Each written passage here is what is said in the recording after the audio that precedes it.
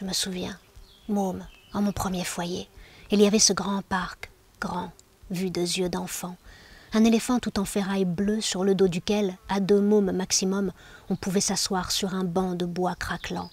Il y avait ce tourniquet casse-gueule qui soulevait la poussière de la terre, désertée par la pelouse et les mauvaises herbes, force de nos galopades tout autour. Et puis la balançoire, incontournable, une nacelle, une corde et un face-à-face grinçant. J'ai toujours préféré la corde. Je me hissais, je glissais, je l'affrontais à bout de bras, et force aidant, un jour, je suis montée au sommet du portique. Je m'y suis agrippée de mes frêles mains. J'avais encore un bout de corde qui entourait ma cheville droite. J'étais à dix mètres du sol. Je sentais le vent, le cri des autres enfants.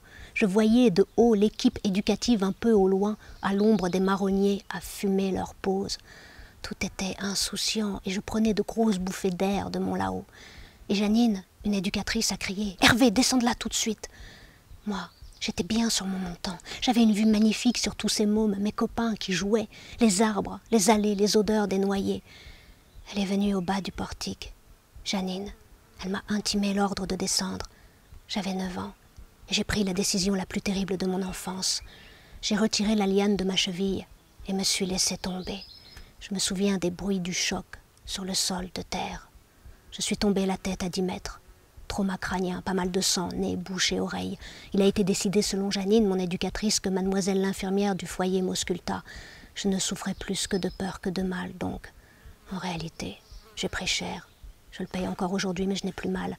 Ma seule violence n'est pas physique. C'est l'inconséquence qui me frappe. Je me souviens, môme, en mon premier foyer. J'avais neuf ans et je pense avoir tenté de me suicider. Janine a minimisé parce qu'elle était d'une douleur sans nom.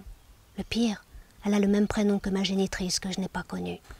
Depuis, je suis dingue des parcs où les minots, mômes gamins, s'éclatent sans se fracasser le crâne, et s'ils soulèvent un peu de poussière, ne pas les réprimer.